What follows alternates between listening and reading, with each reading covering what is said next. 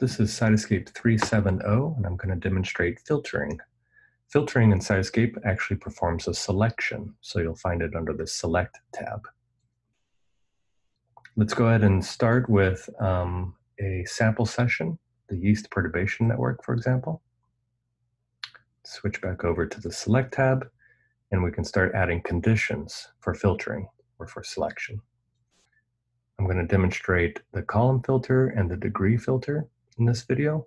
Let's start with the degree filter. It automatically detects the minimum and maximum degree or number of in and out connections per node.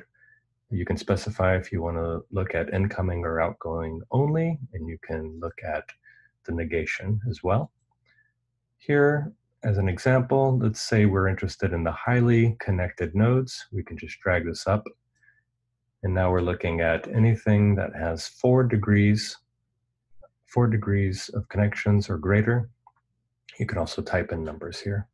As you move this, you'll see the selection changing, and you'll also get a number at the bottom of how many nodes. So here our filtering has selected 35 nodes. You can always click on New Network from Selection to create a new network from just those 35 nodes. You'll note that some of these no longer have four connections, and that's because we didn't bring over all the nodes. We brought only the hub nodes from the prior network. But all of these had four or more connections in the original network. Great, let's go back to the original network and clear our selection and clear our filtering, and we'll create a column filter instead. Columns refer to the node table, and you can filter by any of the values um, in your node table. We're going to filter by one of the data columns, showing GAL1 RG expression values.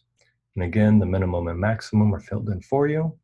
And you can drag or type in numbers to select what you want.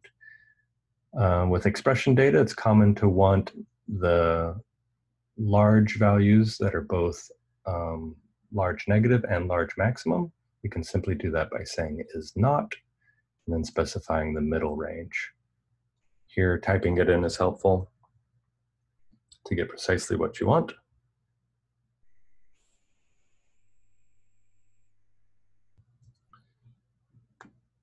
For example, we've now excluded all the low expressing values. And um, again, uh, that leaves us with 46 nodes. You can combine filters, so we can leave this column filter in place and add our degree filter back that we had before. It's up to four. We can see we're now down to one node that has both four or more degrees and a strong expression value. That happens to be GAL1.